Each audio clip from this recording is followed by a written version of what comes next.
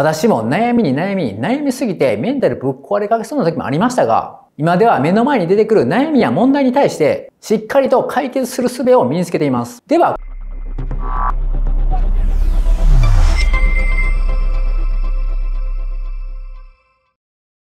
こんにちは。迷った時は即決営業、営業コンサルタントの辰巳です。日々の営業活動お疲れ様です。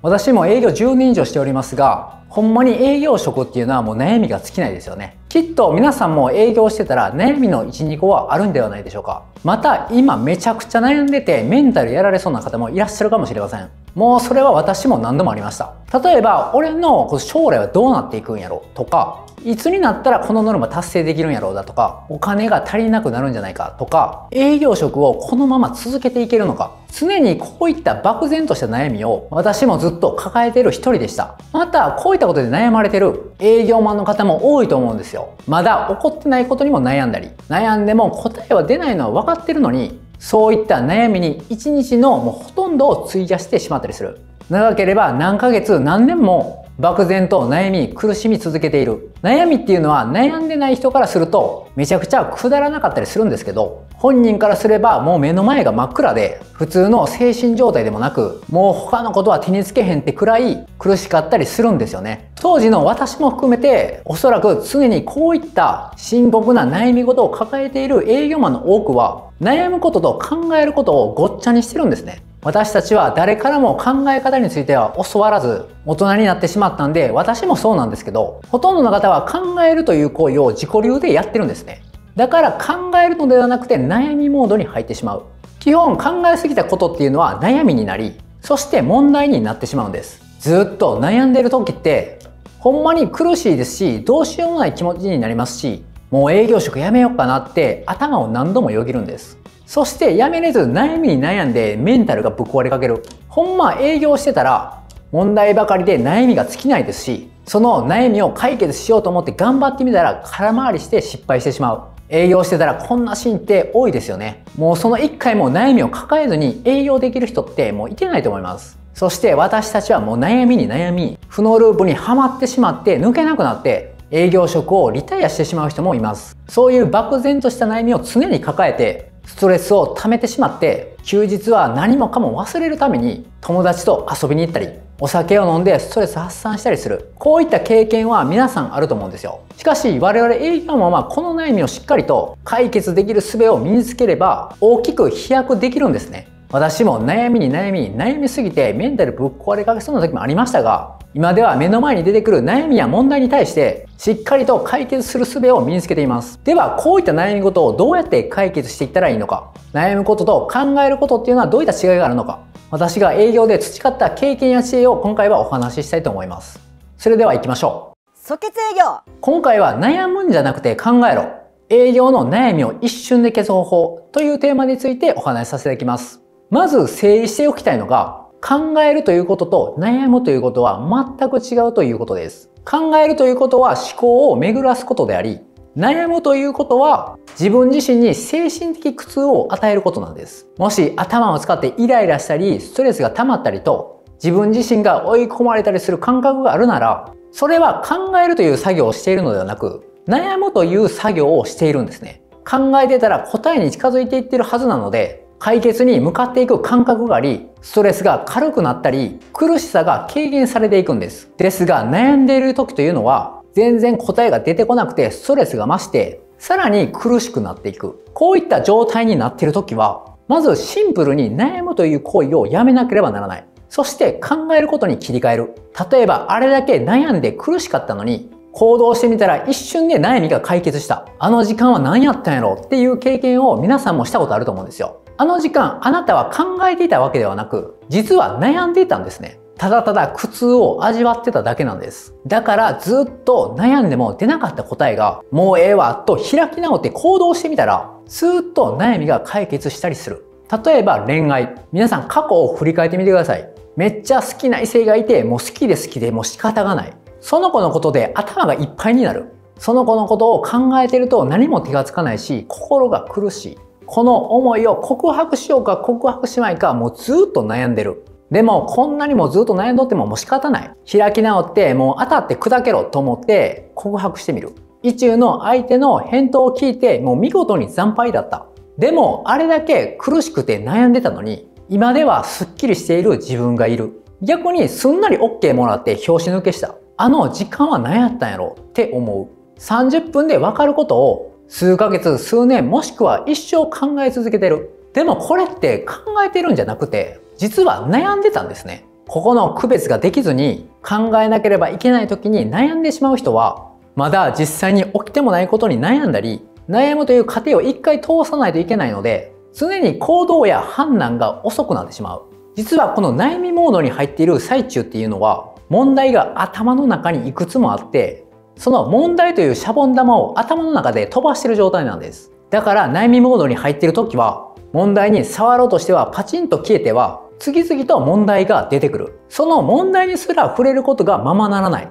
無限ループに入ってしまってもうどうにもならない状態なんです。だからしんどいし苦しい。では考えるモードに入るには一体どうやってやったらいいのか。営業の世界で結果を出す方々は悩むんじゃなくて考えるんです。ここが具体的なアクションプランで、この動画で一番伝えたいポイントなんですけど、結果を出す人々は悩みや問題に向き合った時にこうします。神に書き出す。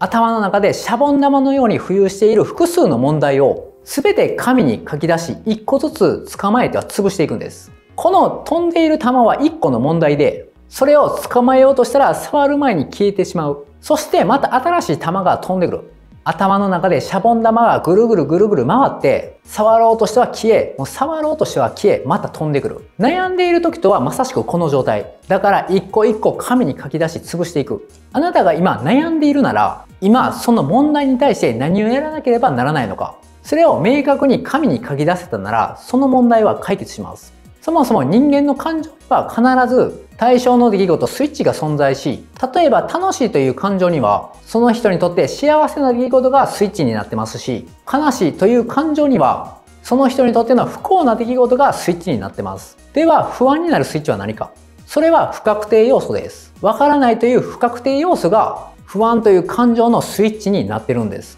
だから不安になってしまう。わからないことだらけで不確定要素だらけだから必然的に不安になる。ただ、それはなんで不安になってるかって言ったら、その不確定要素に怯えているだけなんです。悩みモードに入ってしまう人の思考としては、シンプルを疑って複雑性に答えを求めてしまう。答えはシンプルなのに、物事を複雑にしてしまい、不確定要素をたくさん作り上げてしまうんです。あなたの頭が問題でぐちゃぐちゃで、複雑になっているんなら、紙に書き出してシンプルに一つ一つ潰していく。意外に営業ってシンプルなんです。例えばあなたが30万円の商品を扱っていて300万円のノルマが課されたとしましょう。そのノルマが達成できないとあなたは何ヶ月もの間もがき悩み苦しんでいる。それはただ単にあなたが複雑にしているだけ。ここで言いたいことはこの悩みの答えはシンプルで極論あなたがノルマ達成のためにすることは30万円の商品を10個売るだけただそれだけなんです。悩むことをやめ、一回紙に書き出し思考する。例えば紙に書き出すとこうでしょう。10個売るためにどうすればいいか。私の制約率は4件に1制約でだいたい25%。だから月に40商談を組む。40商談組むためには1日に何コールすればいいか。私のアポ率は1%だから1日200コールで2件のアポ獲得。そして稼働日が20日なので1日2アポで40商談。答えが出ました。あなたがノルマ300万円を達成するためにすることは、1日200件何が何でもコールする。もうそれだけです。至って答えはシンプルなんです。考えれば考えるほど、実は営業でやっていることって意外とシンプルなんです。やるのかやらないのか、やったのかやらなかったのか。我々営業マンがしてることって、それ以上でもそれ以下でもない。問題は何かってノルマの達成というのは難しい。営業というのは難しいと思うその思考にあるんです。営業というのは困難であり複雑というそのフィルターがあなたの営業をさらに複雑化させる。だから悩んでしまう。心理学で有名なアドラーの言葉にこういったものがあります。人生が困難なのではない。あなたが困難にしているだけだ。この言葉は確信をついていると思います。例えば先ほどの営業でノルマが達成できないという悩み。自分の頭の中でノルマ達成は難しいと持ち上げ。営業っていうのはもうセンスや才能やという古代妄想を膨らませ。自分なんかにはこの目標このノルマ達成できないんじゃないかって。悩みモードに入っては実際に何も行動に落とし込めずに動けない。知らないやわからないということだけで、これだけ物事を複雑化できる。ただ、現実は真逆で、営業っていうのはそんな大層なことをしているわけではなく、頭が悪くてもセンスがなくても圧倒的な結果を出すことはできる。頭の中の悩みと営業の世界は全く違うんです。私たちが実際に今まで営業している中でしてきたことってやるかやらないかという選択をしてただけなんです。難しいことは何もしてない。ただ悩んで頭の中を複雑にして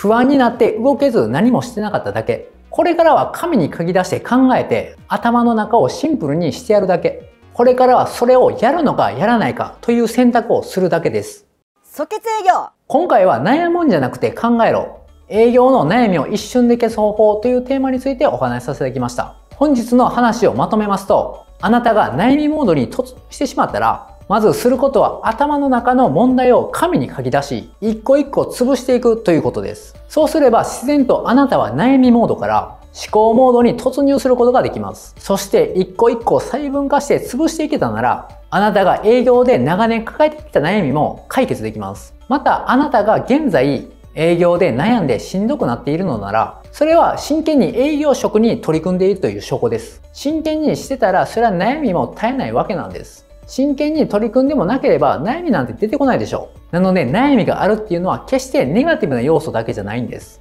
それだけ営業に真剣なんです。どんな状況であれ苦悩がでかい営業マンは後々大きな結果を出すことができるんです。なぜなら苦悩が少なければ人はすぐに忘れてしまいますが、その痛みが強烈であればあるほど二度と同じような過ちは起こさないぞと深く反省し根本的な原因を取り除くことができるからです。だからきっと今めちゃくちゃ悩んでる人もきっとそれは損ばかりではありません。そして悩みモードから早く脱却して思考を巡らして営業の課題を解決していってくださいね。このような悩みはあなたの営業を飛躍させる大きなエネルギーになったりするわけなんです。きっとあなたが営業に対して真剣に取り組めば取り組もうとするほどこの悩みがいっぱい出てきます。そして本日の話でお伝えしたようにあなたが悩みモードに入ってしまったら、一度紙に書き出してみてください。誰かに見せるわけでもないんで、思いっきり悩みをただ紙に書き出していってみてください。そして一個一個どうやったら潰していけるのかっていうのを考えてみてください。そうすれば解決できないんじゃないかっていう問題もきっと解決に向かっていきます。どんな問題が来ようとも乗り越えていける営業マンでありましょうね。またこの動画を見て悩みの解決を手伝ってほしい。もっともっと具体的なやり方を知りたい。自分ではもうどうにもできない。そう思った営業マンの方はぜひ一度即決営業無料体験セミナーっていうものに参加してみてください。そして私のセミナーに参加してくださった方は私も営業10年以上しており営業の悩みはある程度経験しているのであなたが長年抱えていた悩みを解決させる自信がありますのでぜひお話聞かせてくださいね。営業というのは問題を解決したらまた問題が出てきて試練の連続ですし、ある種エンターテインメントとして営業を楽しめないと、非常に辛い毎日を送ることになります。悩んでいる時っていうのはもうしんどいし大変でもうどうしようもないって気持ちになりますが、後になったら笑い話なんですよ。営業の悩みというのはクローズアップで見れば悲劇なんですが、ロングショットで見たら喜劇なんです。ロングショットで見れば小さいこの悲劇、この目の前の悲劇、悩みに我々営業マンは全力で立ち向かってしまうがために営業職を辞めてしまうんですね。どのような視点や知恵を持って物事を見てるか、どんな悩みも跳ねのけていける営業力を身につけていきましょうね。公式 LINE 体験セミナーともに詳細は概要欄にあるので、ぜひチェックしてみてください。そしてこの動画がいいなと思ったらぜひグッドボタン押してみてくださいね。最後までお付き合いいただきありがとうございました。本日は以上になります。株式会社即決営業営業コンサルタントの辰巳でした。ありがとうございました。この下の概要欄から公式 LINE に登録してください。あなたの契約率が大幅に上がる3つのプレゼントが無料でもらえます。今すぐ下の概要欄から公式 LINE に登録して3つのプレゼントを手に入れてください。